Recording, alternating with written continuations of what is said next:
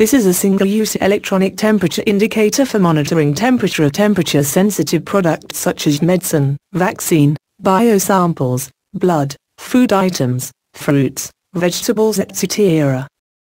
Traditionally we have been using chemical indicator strips for such purpose.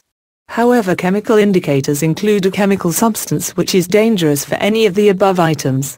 The electronic temperature indicator is the best alternative to chemical indicator strips. The upper and lower levels of permitted temperature range can be programmed.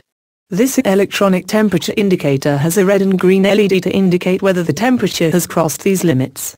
If the temperature goes above or below the programmed limits, the red LED will start blinking. At the end of the storage or transportation you can check the LED before accepting the goods. Starting the indicator is simple by pressing the power button for few seconds. We are programming three separate electronic indicators which are programmed for upper limit of 8 degree and lower limit of 2 degrees centigrade. These three units are now being kept under different storage temperature conditions. Now we will examine one by one and demonstrate the basic indication. This indicator was kept inside a freezer and has gone below the lower temperature of 2 degree and hence the red LED is blinking once approximately every 7 seconds. The second indicator was kept at room temperature and has gone above up temperature of 8 degree and hence the red LED is blinking twice approximately every 6 seconds. The third indicator was kept in a freezer and thereafter at room temperature and has crossed both the upper and lower temperature levels. Hence the red LED is blinking thrice approximately every 5 seconds.